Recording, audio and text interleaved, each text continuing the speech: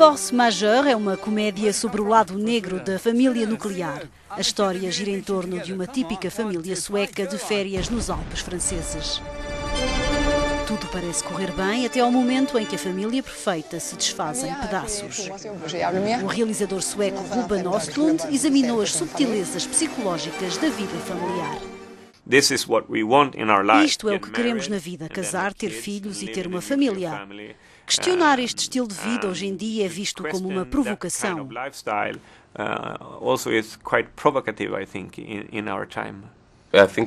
Penso que em relação à família nuclear nós construímos as nossas próprias fortalezas e separamos-nos de muitas pessoas.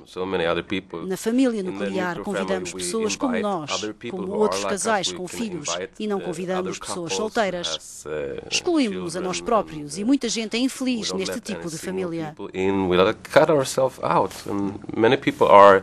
unhappy in this kind of family settings. Alltså, det är såna jäkla krafter. Är det safe? Ja, ja, ja. De vet vad de gör. Pappa! Ljuset är nära kontrollerat. Harry, Harry, Harry. Det är lugnt. Det är lugnt.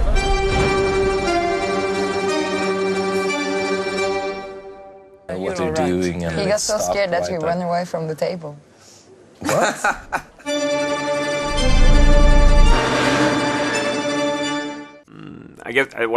Uma das razões do meu interesse pelas estações de esqui é o facto de haver um combate constante entre o homem e a natureza.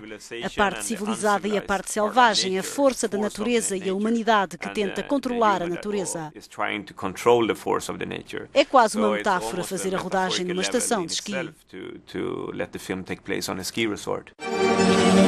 Apresentado no Festival de Cannes, o filme de Ruben Ostlund venceu o prémio do júri na categoria Un certain regard.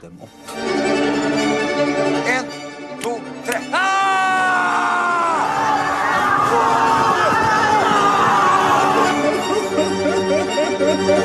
Du gråter ju inte på riktigt. Nej, det gör. Men du, herregud. Ebba, Ebba, Ebba, Ebba, kom.